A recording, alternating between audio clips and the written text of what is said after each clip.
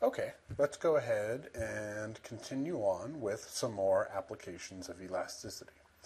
So let's think about an example where suppose we know that elasticity is something like negative 1.5 and we're currently charging P1 equals $10 and selling Q1 equals 50 units. If we raise prices to P2 equals $12, what will the new quantity demanded be? So this is going to be a multi-step process. Each one of the steps is not so hard in itself, but keeping track of what we're doing is maybe a little bit harder. So first, let's figure out what is our percent change in P. And our percent change in P is P2 minus P1 over P1 times 100. And I'm going to ignore this whole midpoint thing for now, just to keep things relatively simple. So that's going to be 12 minus 10 over 10 times 100, or 2 over 10 times 100, or 20%. Okay. So, what is our percent change in Q? Well, here we want to go back to the fact that we know that elasticity equals percent change in Q over percent change in price. We know elasticity is negative 1.5.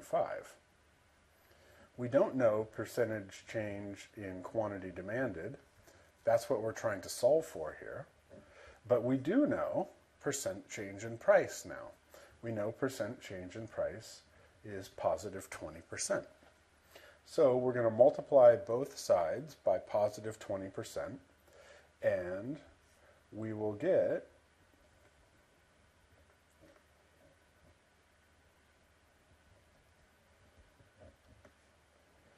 that percent change in quantity demanded equals negative 30%.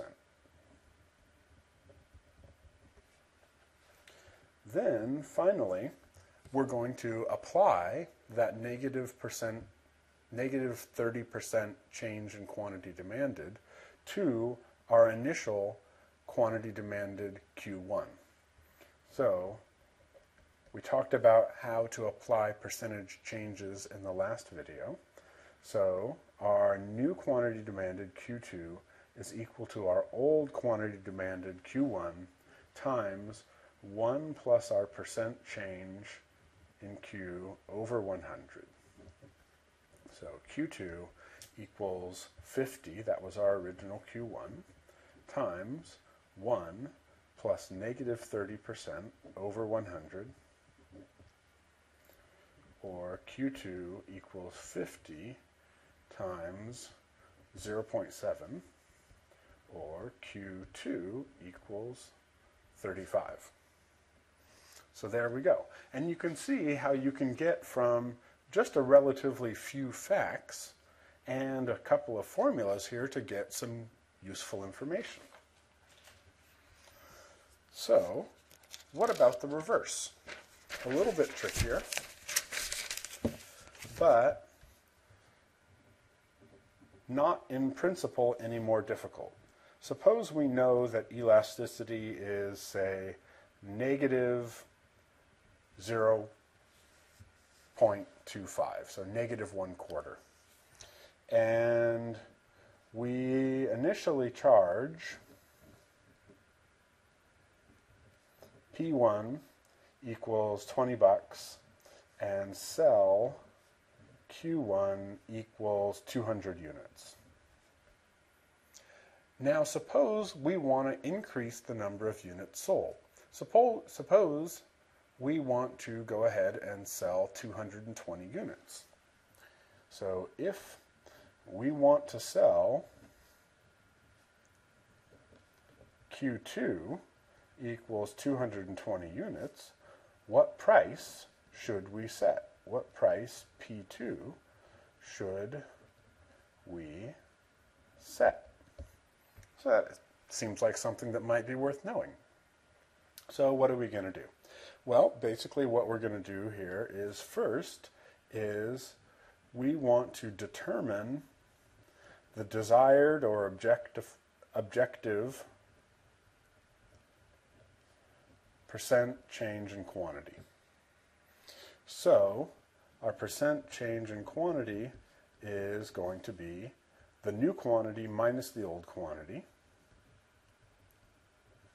over the old quantity, then times 100. Because that's how we're going to go ahead and compute a percentage change. And you might be able to eyeball this, but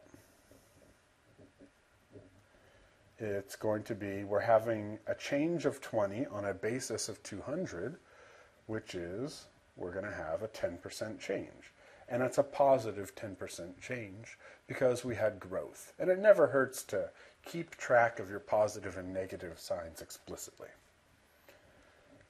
Our next step is going to be to apply that elasticity formula again. And we know that elasticity equals percent change in quantity demanded over percent change in price. We know elasticity in this case is negative 0.25, negative one quarter.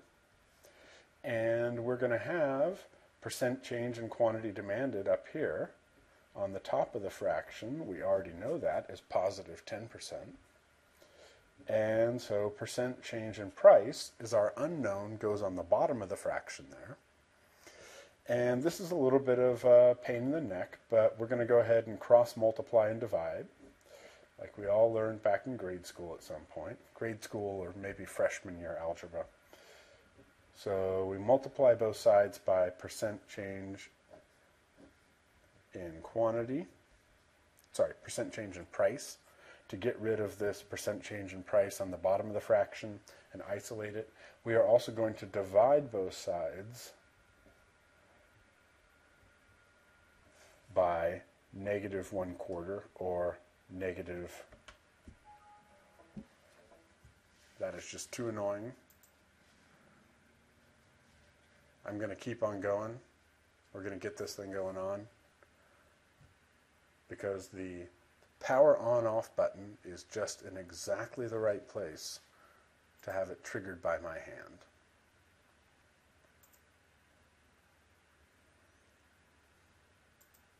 Come on, baby.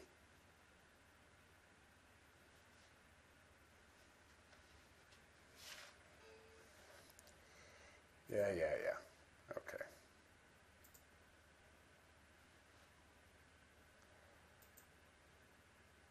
All right. All right. Pay no attention to the man behind the curtain. All right. So, we've got this going on here. These 2% change in price cancel. This negative one quarter and this negative one quarter cancel. And so we are left with percent change in price is equal to positive 10% over negative one quarter, or percent change in price is equal to negative 40%. So in this particular case, we have inelastic demand. Remember that if elasticity is between 0 and negative 1, that means we have inelastic demand. Consumers are not very price responsive. To achieve a 10% increase in sales, we have to cut prices by 40%, which sounds like it's probably a pretty bad idea. But let's go ahead and see what that new price would be. So our new price, P2, would equal our old price, P1, times 1 plus the percent change in price over 100. So our new price, P2, would equal our old price, $20, times 1 plus negative 40% over 100, or P2 equals $20 times 0.6, or P2 equals $12. So that's our answer. If we want to be able to sell those 220 units instead of those 200 units, we have to drop prices from $20 down to $12. Again, probably not a good business decision, but that's what we would have to do. So we'll go ahead and pause there, and in the next video segment, I'll cover the last major application of elasticity of demand that I'm going to talk about here, which is talking about using elasticity to predict what happens to total revenue.